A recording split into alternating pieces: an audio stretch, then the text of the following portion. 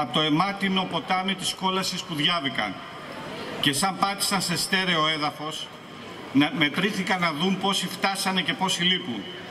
Και οι ζωντανοί δεν το πιστεύανε. Μόνο άπλωναν τα χέρια τους στο κορμί τους και το ψάχνανε για να βεβαιωθούν πως δεν ήταν ευρικόλακες. Και ψάχναν και για την ψυχή τους, να δουν αν ήταν στη θέση της. Μα αυτή ήταν άφαντη. Είχε μείνει πίσω στην πατρίδα, κοντά στους αγαπημένους νεκρούς και στους εχμαλώτους, κοντά στα σπιτάκια, στα χωράφια, στις δουλειές και στα καζάρια. Με αυτή την περιγραφή συντρόφισσες και φίλοι, φίλες και συντρόφισσες στο αριστούργημα της Διζός Σωτηριού αποτυπώνεται με λογοτεχνική μαεστρία το δράμα που έζησαν οι πρόσφυγες από τη μικρασιατική καταστροφή έναν αιώνα πριν. Ένα δράμα που ξεκίνησε με τον ξεριζωμό, τις δολοφονίες, τη βία και συνεχίστηκε με την υποδοχή που επιφύλαξε το αστικό κράτος της χώρας μας στους ξεριζωμένους. Γιατί έναν αιώνα πριν έγινε πράξη αυτό που πρότειναν σήμερα ορισμένα στελέχη της κυβέρνησης, να ανοίξουν τα ξερονίσια για τους πρόσφυγες, με πρώτη τη Μακρόνισο που φιλοξένησε δεκάδες χιλιάδες πρόσφυγες και είχε χιλιάδες νεκρούς. Όπως και εδώ στην Καλαμαριά, στον τόπο αυτό που ποτίστηκε από τον υδρότα και το αίμα των προσφύγων. Περίπου στο μισό εκατομμύριο από Μικρά Ασία, Πόντο και Καπαδοκία που στιβάχτηκαν στο λιμοκαθαρτήριο ή απολυμαντήριο της Καλαμαριάς σε συνθήκες τραγικές και απάνθρωπες. Έως και 22.000 φτάνουν οι εκτιμήσεις της εποχής από αυτούς που στην αρχή γλίτωσαν τον πόλεμο και στην πορεία της, κακου, της κακουχίας της μετανάστευσης και στο τέλος άφησαν τις ζωές τους, τις ζωές τους στις σκληρές συνθήκες στον γκέτο της Καραμπουρνού.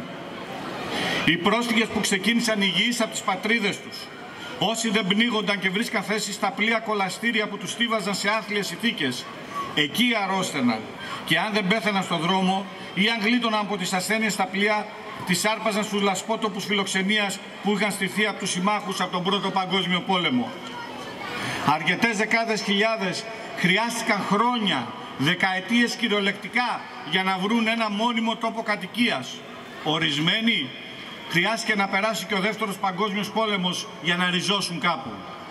Στο ανίποτο δράμα της προσφυγιάς δεν αποτυπώνεται μόνο η θύμηση από τον τόπο που ένιωθα πατρίδα οι παππούδες μας, αλλά αποτυπώνεται και στην υποδοχή της μητέρας πατρίδας που αντιμετώπισε τους πρόσφυγες με τον ίδιο τρόπο που αντιμετωπίζει τους σημερινούς και ριζωμένους.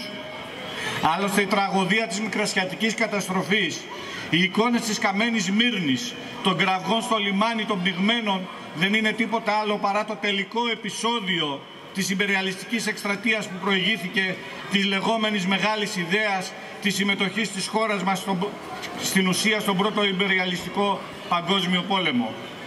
Η μικρασιατική εκστρατεία υπήρξε αναπόσπαστο και οργανικό κομμάτι του πρώτου παγκοσμίου πολέμου, των ενδομπεριαλιστικών συγκρούσεων για την αναδιανομή των εδαφών, των αγορών και των σφαιρών επιρροής που ακολούθησε μετά τη λήξη του. Στη διάρκεια του πρώτου παγκοσμίου η Οθωμανική Αυτοκρατορία εντάχθηκε στο εμπεριαλιστικό στρατόπεδο των κεντρικών δυνάμεων, οι οποίες έχασαν τον πόλεμο. Γι' αυτό και τα εδάφη της βρέθηκαν στο επίκεντρο της πολεμικής λίας. Μοιράστηκαν και ξαναμοιράστηκαν στις διαπραγματεύσεις μεταξύ των καπιταλιστικών κρατών που συμμετείχαν στην αντίπαλη συμμαχία της Αντάν. Φίλοι και σύντροφοι, το κόμμα μας με την έκδοση που σήμερα υπάρχει και στο βιβλιοπωλείο μας και έχουμε στα χέρια μας μας δίνει ένα ακόμα μεγάλο όπλο στην πάλη κατά της ιδεολογίας της βαραβαρότητας και της εκμετάλλευσης. Σήμερα είμαστε πιο όριμοι να σκεφτούμε το χειμώνα που έρχεται, τις μέρες που μας ετοιμάζουν.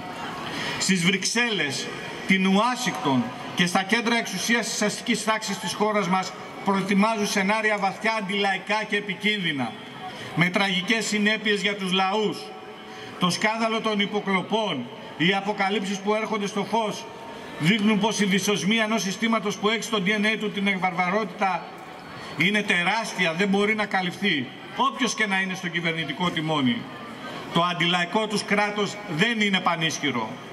Τρομάζουν για τις επιπτώσεις που μπορεί να έχει η συνέχεια του πολέμου και δεν εννοούν τη φτώχεια και το θάνατο, αλλά τη βαθύτερη συνειδητοποίηση από τους λαούς πως ο μονόδρομός τους μας οδηγεί στον κρεμό. Είναι χαρακτηριστικό ένα καλό παπαγαλάκι του συστήματος όχι μόνο στην Ελλάδα αλλά διεθνώς. Ο Παπαχελάς χθες στο Sky έλεγε ότι αν συνεχιστεί η κατάσταση έτσι τον Οκτώβριο θα εξεγερθούν οι λαοί στην Ευρώπη. Νέα δημοκρατία ΣΥΡΙΖΑ, ΚΙΝΑΛ, ΜΕΡΑ αλλά και ελληνική λύση ορκίζονται πίστη στο κεφάλαιο την Ευρωπαϊκή Ένωση και στο ΝΑΤΟ γιατί για να μην ξεχνιόμαστε με την ελληνική λύση ο Βελόπουλος στο δεύτερο μνημόνιο και στο τρίτο ήταν στέλεχός τους. Λέω για να μην ξεχνιόμαστε στο ποιο, ποιος είναι και ο Βελόπουλος γιατί ορισμένοι το παίζουν και αντινατοικοί. Δεν αφισβητούν κυρίαρχες επιλογές. Οι διαφορές αυτών των κομμάτων είναι χρήσιμες για το σύστημα, για να στείλει παγίδες εγκλωβισμού για το λαό. Εκατό χρόνια μετά, όσο και να απολώνεται το, το πολιτικό σκηνικό, για... όσο και να απολώνεται το, το πολιτικό σκηνικό, στο τέλος βρίσκονται στην ίδια πλευρά της ιστορίας οι αντιμαχόμενες αστικές δυνάμεις. Υπηρετούν τη βαρβαρότητα και τον πόλεμο. Μόνο το ΚΚΕ σε καλεί να σκεφτείς πως εσύ έχεις τη δύναμη Φτάνει να την πιστέψεις. Φτάνει να κάψεις τα αντιλαϊκά σενάρια και να γράψεις το δικό σου, κόντρα στο σύστημα και τις εναλλακτικές του. Το σενάριο με πρωταγωνιστή τον ίδιο το λαό που μπορεί να φέρει τα πάνω κάτω. Όπως έκαναν οι εργάτες της Κόσκο, της eFood, που δεν υποτάχθηκαν στο συσχετισμό και στη δύναμη των πανίσχυρων αφεντικών τους και σήμερα με ψηλό το κεφάλι μετράνε έστω και μικρές νίκες. Όπως δίνουν η μάχη, τη μάχη οι εργάτες στη Μαλαματίνα που και αύριο στην απεργία θέλουν την υποστήριξή μας. Απέναντι λοιπόν στις εξελίξεις έχει τη δύναμη, την πείρα, έχει το ΚΚΕ που πάνω από έναν αιώνα όταν ο λαός έπαιρνε τις μεγάλες αποφάσεις του έγραφε τις πιο λαμπρές σελίδες στην ιστορία του.